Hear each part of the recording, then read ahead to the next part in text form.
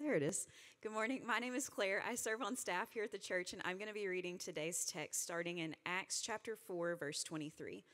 When they were released, they went to their friends and reported what the chief priests and elders had said to them. And when they heard it, they lifted their voices together to God and said, Sovereign Lord, who made the heaven and the earth and the sea and everything in them, who through the mouth of our father David, your servant, said by the Holy Spirit, why did the Gentiles rage and the peoples plot in vain? The kings of the earth set themselves, and the rulers were gathered together against the Lord and against his anointed. For truly in this city there were gathered together against your holy servant Jesus, whom you anointed, both Herod and Pontius Pilate, along with the Gentiles and the peoples of Israel, to do whatever your hand and your plan had predestined to take place.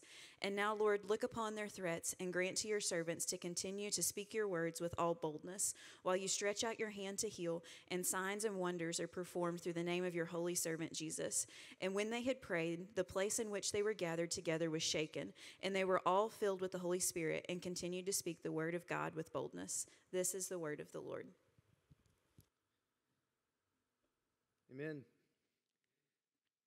We, this week, we, in a sense, I didn't know if this was the correct word, but it's, it's the word I'm going to use. We celebrated uh, the anniversary, 20th anniversary of the attacks that happened on September 11, 2001. Terrorists ran planes into various governmental, governmental buildings, the World Trade Center's Pentagon, and they had intended for more to come. And I, as I was kind of thinking about it this week, I read an article in Newsweek uh, that it, it, it, struck me a bit, and I thought it was really fitting um, for our nation. I'm going to read a paragraph to you. It says this It says, 20 years ago, uh, we witnessed a defining moment in American and world history. The terror attacks on September 11, 2001 changed a generation and shaped our world like few events ever have or ever will. With the passing of time, a new generation forges ahead and creates their own future while we commemorate the victims and struggle with the lessons of our past. The world has now watched as the war which the attack started has come to an ignominious end.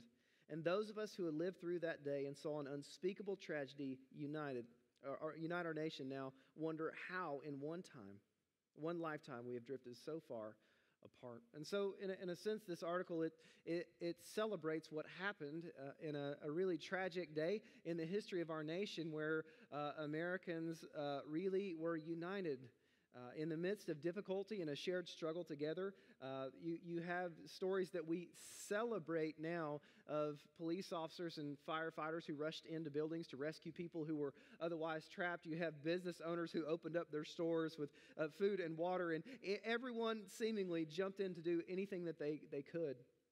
Uh, yesterday, I was uh, riding in the car with my, my son, and I had him read the transcript of the, the Todd Beamer call. Uh, if you don't know, he was one of the guys on Flight 93 uh, who uh, got on the phone with a 911 operator and it, it begins in kind of a, a, a, shocking way, and there's a progression that you see throughout the call where, in the beginning, he's calling 911 to report uh, an issue. Their plane had been hijacked. There's a problem that he, you know, would hope to have had resolved. But as as more people are on their cell phones and they realize that what's happened on their plane and it's been hijacked, it's not just an isolated event, but rather, rather it's a part of a larger plot. You see this shift happen in Todd Beamer's speech from, hey, we're on a plane that's been hijacked, to recognizing, wait, this is a part of a larger thing. And then toward the end of the call, as the 911 operator, she says these words to him. She says, I'm afraid that your plane may be a part of their plan.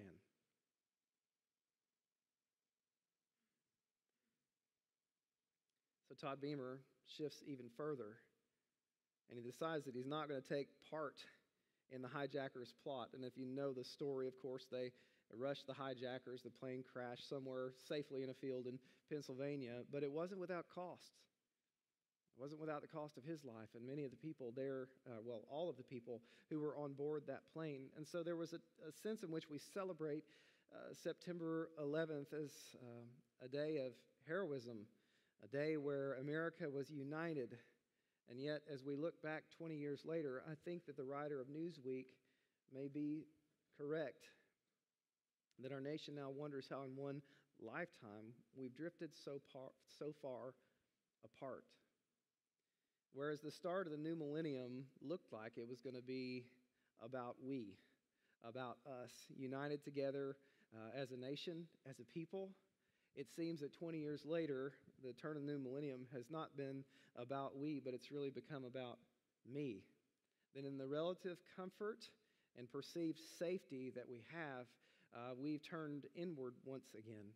We've become self absorbed and self focused and lost sight of the bigger purpose, uh, certainly in the Christian church, of what God has for us. In 2004, uh, Joel Osteen's uh, kind of his signature work, Your Best Life Now, was released. It's since sold over 8 million copies. It's focused on uh, things of like developing a healthy self esteem, thinking highly of yourself, using the power of positive thoughts to push out negativity, to usher in the great things that are in store for you, grabbing a hold of your best life now. There's a, a calendar and a board game, by the way, if you, in case you forget the, the themes uh, that are there in your life. Um, Amazon has become the largest online retailer in the world, uh, and their motto as a company is to become Earth's most customer centric company. The, what was we for a brief period of time has really become about us living our best life, having our needs met, and that's even crept over into the church.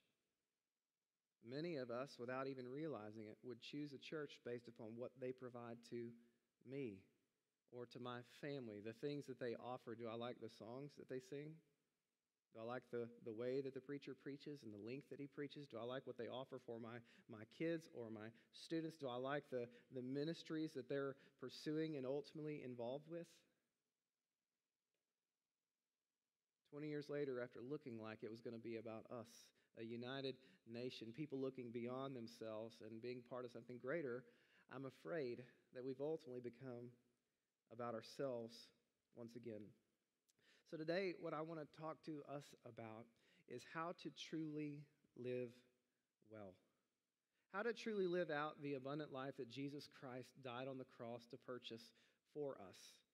And this begins not with uh, becoming overly focused on ourselves, but it actually begins with becoming focused on others. In Matthew chapter 10, verse 39, Jesus told us that if we want to find true life, if you want to really live. You want to know satisfaction for your souls and true abundance. Jesus said, if you want to truly find life, you have to first lose yours. He says there in Matthew, Matthew 10, he says, uh, I want you to take up your cross and I want you to follow me. And, you know, in the, the first century, the cross, it was a portrait not of triumph, but of suffering. It was a portrait of death.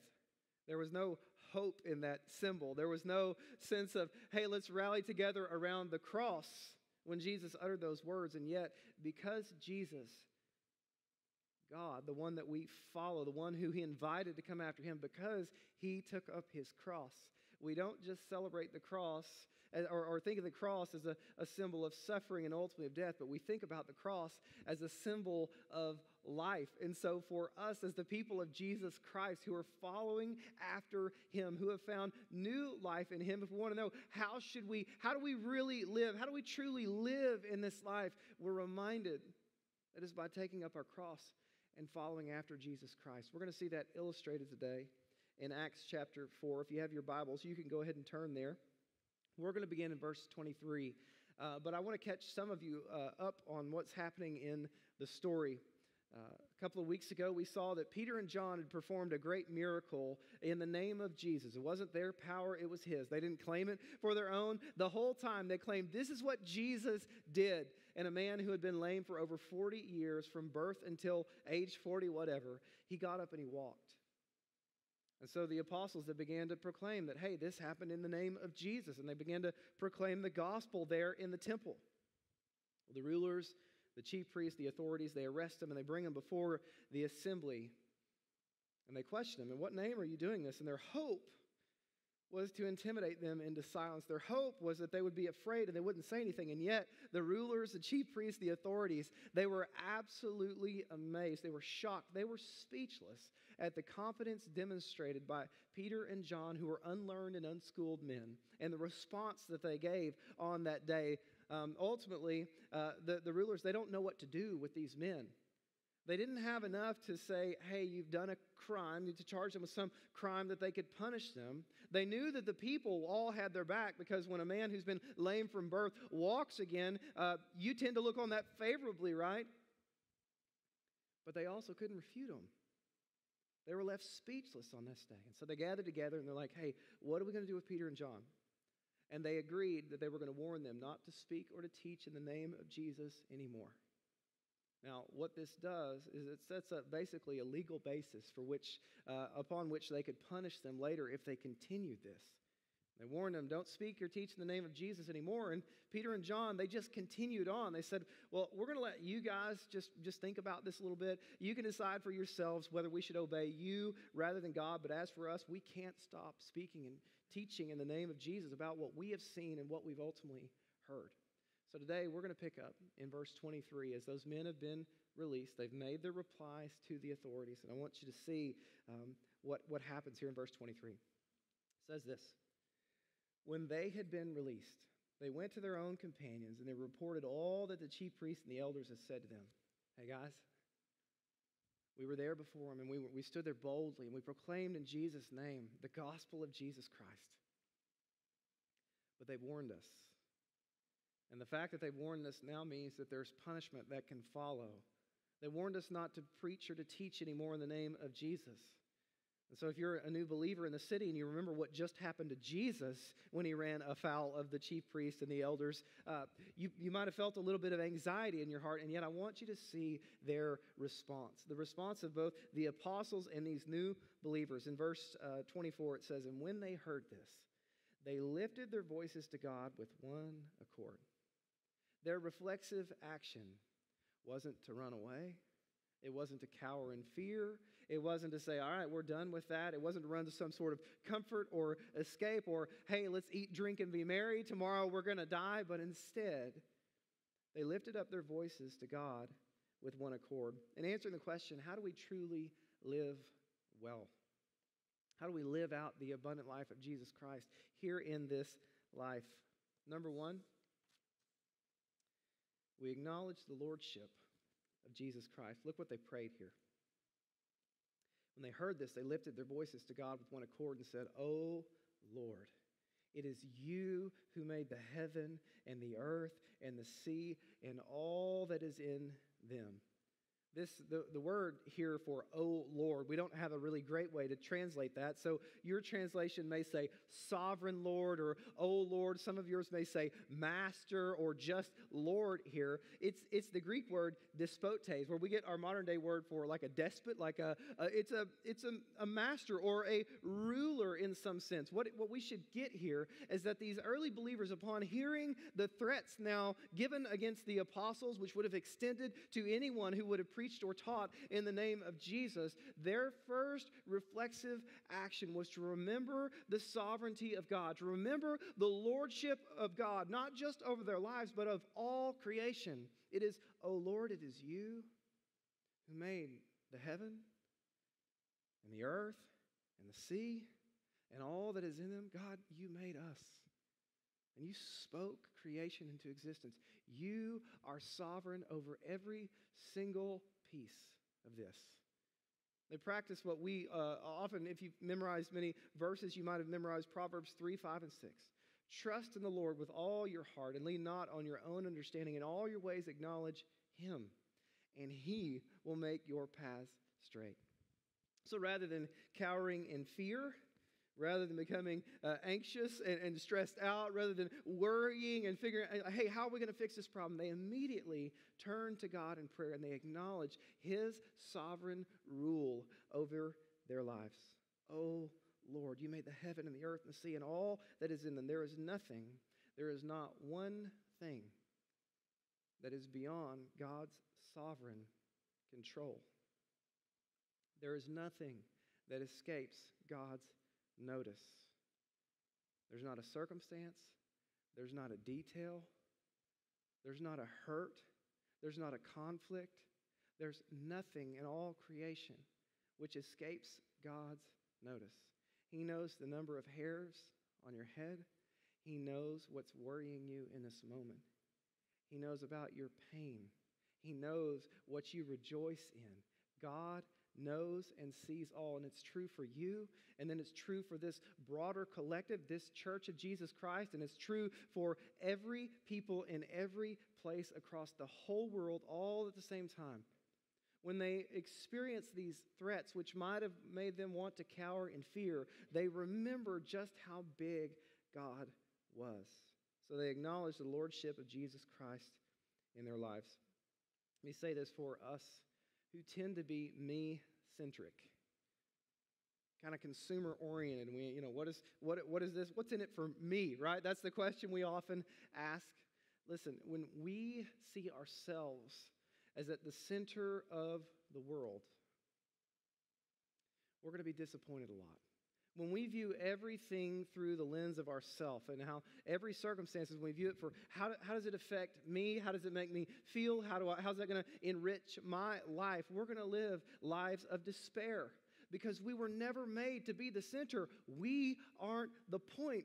God is. God created it all the heavens and the earth and the sea and everything that is in them. They were made by God and for God and for His glory. And until we acknowledge the Lordship of Jesus Christ, that He is the center of all this, nothing in life is going to make sense.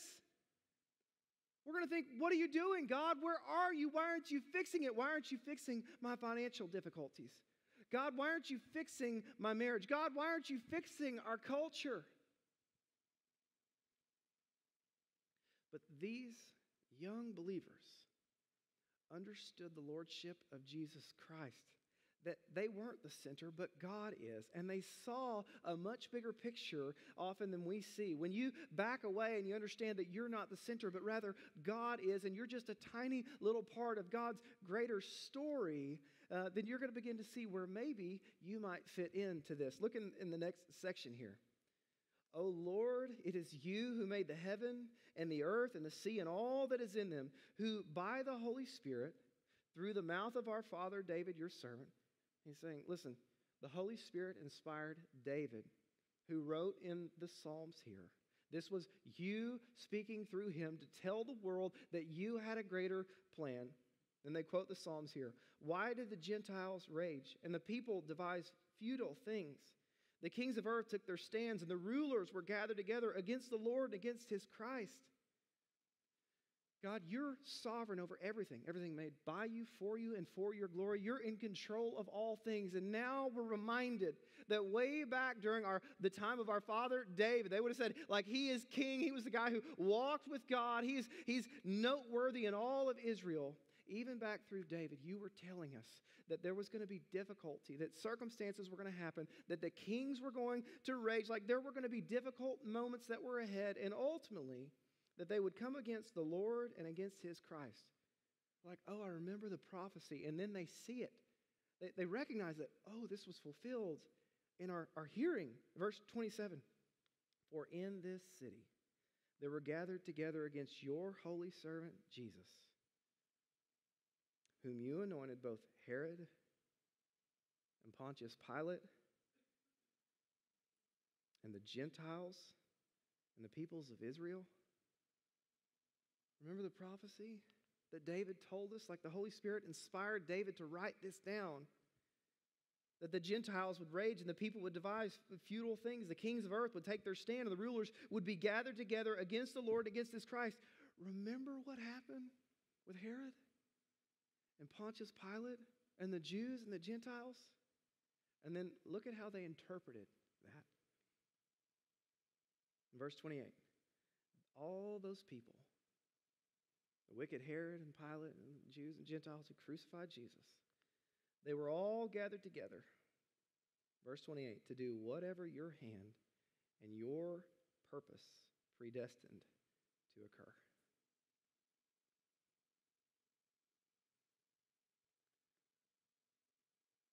God planned far in advance for Jesus to take up his cross and to suffer on behalf of the people. God planned far in advance for Jesus Christ to give his own life that men and women might truly live. He gave his life that we might be saved.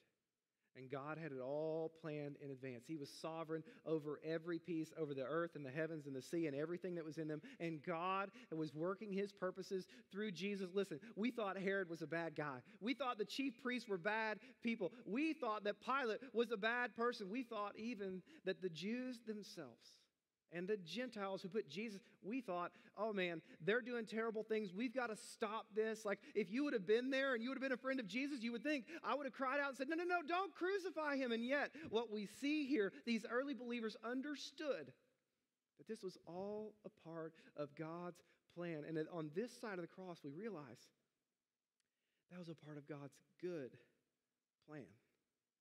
God used the sinful actions of Herod and Pontius Pilate and the Gentiles and the Jews for his purposes, for the redemption of the world. And if you'd have seen the crucifixion, you might have asked the question why do the Gentiles rage? Why do these kings gather to persecute the Christ? Why, God, would you let this happen? And yet, on this side of the cross, we say, God, thank you. Thank you for Christ. Thank you for the salvation and the forgiveness that we found in Him. Thank you for your love, which you exhibited there, that even though we were just dead sinners and had nothing to offer you, you offered your Son, Jesus. And that suffering that we saw as something we ought to want to prevent, we now see as a glory. The cross, which once represented suffering and death, now represents new life for us. And so these Gentiles, who, or these new believers who have just heard the threats, don't preach or teach in the name of Jesus anymore, or it's going to cost you. I can't help but think that the words of Jesus were echoing through their, their ears. You want to be my disciple? You take up your cross and follow me. And they didn't see suffering as somehow the judgment of God on their lives, or that God didn't love them, or God wasn't going to bless them, or somehow that God was mad at them. But they saw suffering as the normal path of discipleship. This is what it looked like in the life of Jesus. His death resulted in new life. He called us to take up our cross and follow him. So, here in the midst of this suffering, we understand that this is God's purpose for us. So, number one, you want to know how to find true life, you acknowledge the lordship of God in your life, that He is sovereign over everything, every difficulty, every blessing, every good thing that you're going to enjoy in this life, He's given to you as a gift, and every difficulty is ultimately there to be used for His purposes. So we acknowledge the Lordship of God. And number two, they surrendered themselves to the purposes of God.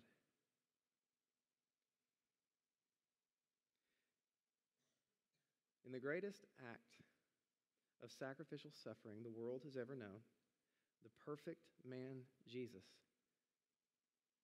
gave his life willingly for the imperfect world, the sins of the world. And there on the cross, in the midst of that suffering, where Jesus might even cry out, My God, my God, why have you forsaken me? God was performing the single act of redemption that would set the world free from sin, that billions of people might find new life. So these new believers, they acknowledged lordship of God and they surrendered themselves to God's purposes. Can I just tell you that it's difficult to see God's purpose through the fog of our pain? It is difficult to see God's purpose through the fog of our circumstances or our difficulty, through what we're going through. It's really difficult to make it out in the moment. And yet, because of the cross of Jesus Christ, we can look back and know that God is using our suffering too for His glory and for the good of the world. Listen, your life was never supposed to be about you. Your life was never supposed to be about the American dream, where you get the house and the car and the kids and all the things there. And you fill up your retirement account and you get to retire hopefully a little bit early, but at least by age 65, right? And then you get to travel and you get to go on the vacations and do all the things. That was never what God intended for your life. God intended, intended that you would offer your life as a living sacrifice for His purposes, just like Jesus did that through dying to the life that we otherwise would want, through dying to ourselves, we might find true life in Christ Jesus. Acknowledge the Lordship of God, and we surrender ourselves to God's purposes. James 1 2 tells us to consider it joy when you face trials of various kinds, because that's making you more mature, that's making you more complete, that's teaching you what it looks like to live out the abundant life in Christ Jesus. And let me just say, in the life of suffering on behalf of Jesus Christ, in a life of offering yourself to other people, there is no greater joy. Like there's nothing you're ever going to do that's going to top that. There's no achievement, there's no promotion, there's no level of financial stability or security that is ever going to top the satisfaction that you will find in surrendering yourself fully to Jesus Christ and to seeing Him work for you. Y'all, we are God's workmanship, created in Christ Jesus for good works, which He's already planned in advance. What you're going through today, God knew about it, and He has crafted you and created you, and He's given you of His Spirit that you might bring Him glory in your circumstance. And what you're going to go through tomorrow, God knows about that, and His hope, like for us, is that we walk in Him and that we bring Him glory in the midst of those circumstances. Acknowledging the Lordship of God, surrendering ourselves to God's purpose. And then I want you to see the, th- the third thing here. I want you to see the rest of their prayer. And now, Lord, take note of their threats. God, they're threatening us. We've seen what they did to Jesus. We know what's in their power to do. So, God, would you take note of their threats and grant that your bondservants may speak your word with all confidence? You know what they didn't pray here? Oh God, would you comfort us? God, would you fix this?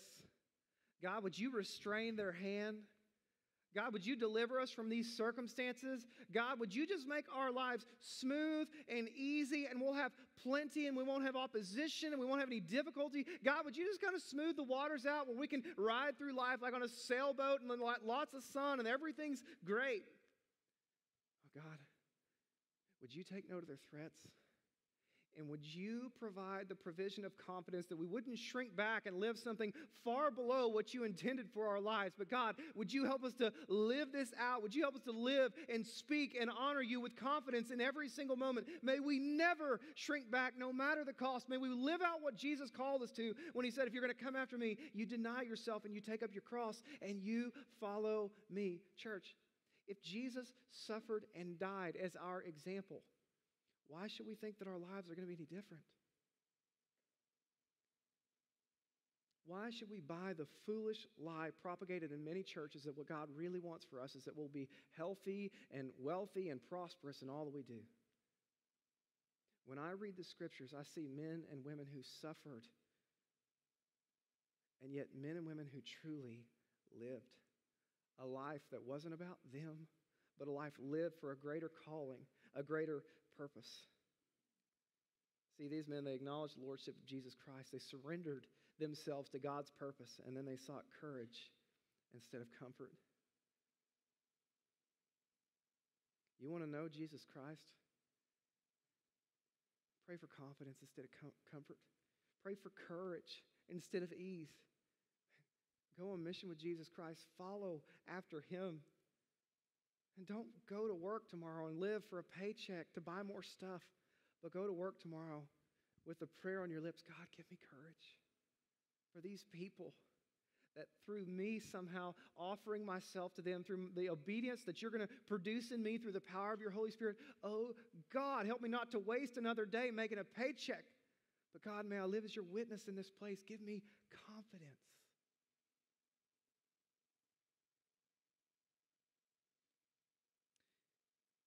And now Lord, take note of their threats and grant that your bondservants may speak your word with all confidence.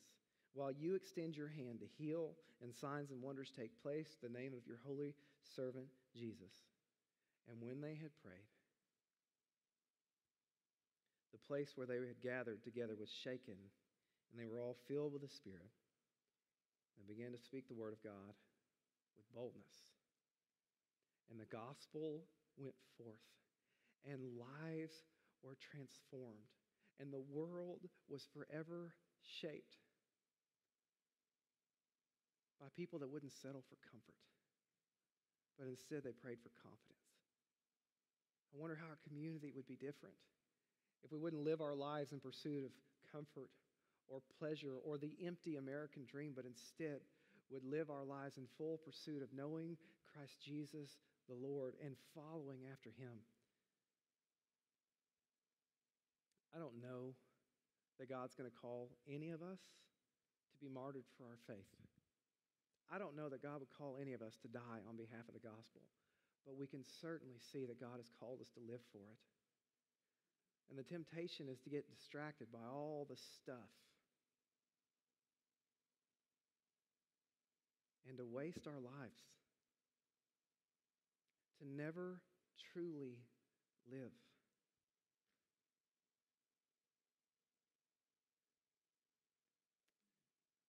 Jesus said about all the things of this world that can often distract us and get us focused on things that we shouldn't. He said, Hey, listen, and there are good things that we should pursue. I mean, you should pursue like kids that live healthy lives that go on to be successful in life, right? We want that. We want our kids to be able to provide for themselves.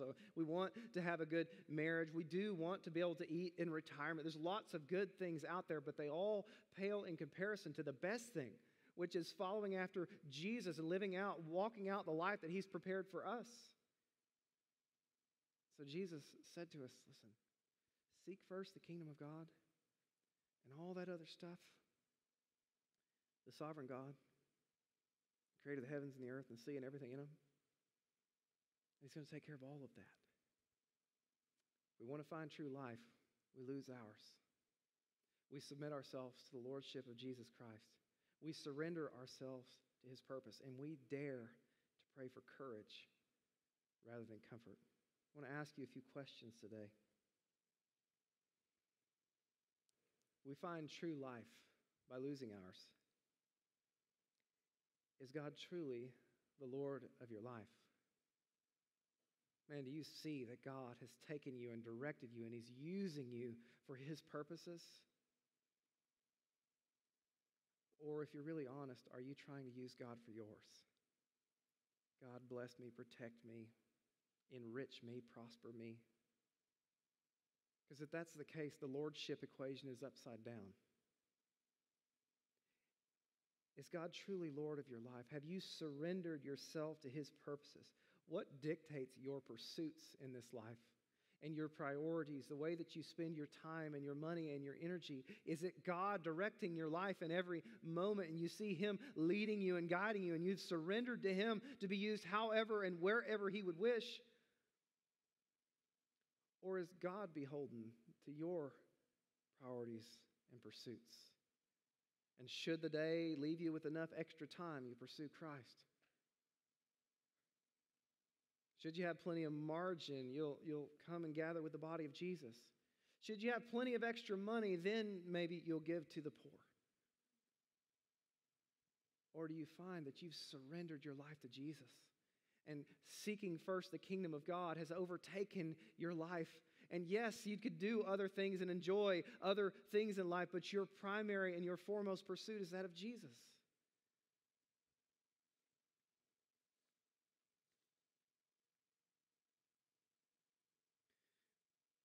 Are you seeking courage to build God's kingdom or comfort as you seek to build yours? When you think about your hopes and your dreams, are you weeping over the souls of your lost friends and coworkers and family members? Are you delighting in the empty things of this world? If we want to truly live We have to live a life that's not centered on us, but rather is centered on Christ. We surrender ourselves to His Lordship, to His purposes. We pray for confidence and not comfort that we might live out the life that Jesus Christ has taught us to live. Would you bow with me? God, you are the sovereign of the world. And in your infinite wisdom, which is far beyond ours,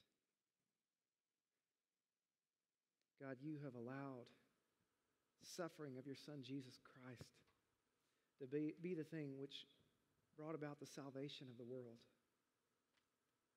God, you've called us who have been saved by Jesus Christ, who have been redeemed by the blood that he shed on the cross.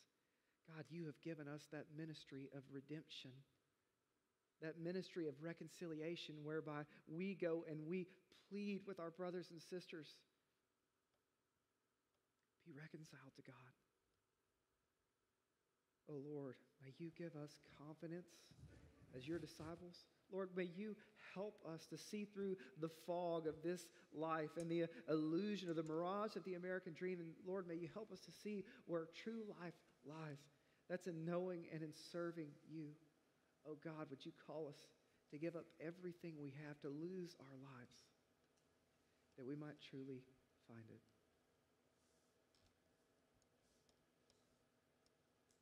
God, would you lead our hearts to repentance? May we weep over the empty things that we've chased. May we weep over the empty lives that we've led. God, may we repent of that and turn and find true and abundant life in you. Pray this in the name of Jesus Christ. Amen.